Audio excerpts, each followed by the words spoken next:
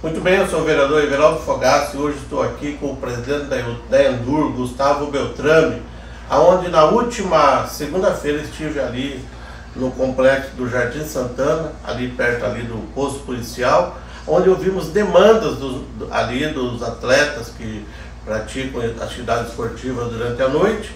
E hoje eu estou trazendo, trazendo esse documento aqui pedindo as lâmpadas LED ali, os refletores. E o secretário vai falar para a gente o que, que vamos fazer lá no local.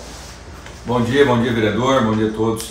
É, realmente nós estamos fazendo essa substituição de, de, de, LED na cidade como um todo, determinação do prefeito Dom Chaves, e os campos de futebol, como o vereador Fogaça é, é um incentivador do esporte, desse, dessa essa pelada aí nos bairros, nós já fizemos alguns campos para ele, e agora vamos fazer esse também no Jardim Santana, assim que chegar nossos refletores de LED modernos, com eficiência e muita durabilidade.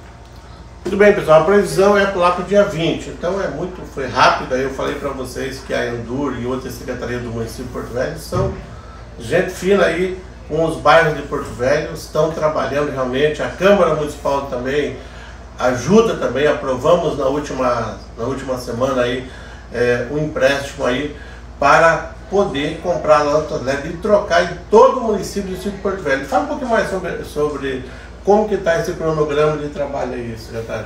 É, foi aprovado pela Câmara dos Vereadores, como o senhor próprio disse, é um pedido nosso da Endur juntamente com a Prefeitura de Porto Velho. É, esse é um sonho antigo nosso, da Prefeitura, de a gente substituir as lâmpadas comuns, essas lâmpadas é, que estão na cidade hoje, por LED. No, logo que o prefeito entrou, em 2017, ele tinha uma escolha a fazer, ou iluminar a cidade como um todo, como ele fez, saiu de 23 mil pontos aproximadamente aí 80 mil pontos de iluminação, realmente transformou a cidade. E naquela época a LED era muito cara ainda, muito uma lâmpada LED naquela época custava mais de 2 mil, 3 mil reais. Agora com a modernidade, com as novas tecnologias, o custo é, diminuiu um pouco.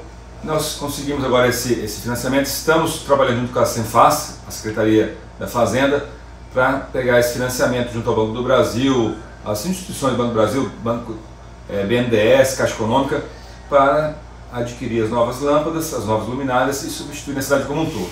Mas antes disso, vereador, nós estamos fazendo a substituição com recurso próprio, com as economias da Endur, com o repasse da Prefeitura. Já substituímos é, em 2022 10 bairros na nossa capital e em 2023 já estamos com 6 bairros. Então, no total, 16 bairros já 100% LED. O primeiro bairro substituído foi Cristal da Calama, 1 e 2, que graças a Deus está um dia, está muito legal, o pessoal está muito satisfeito.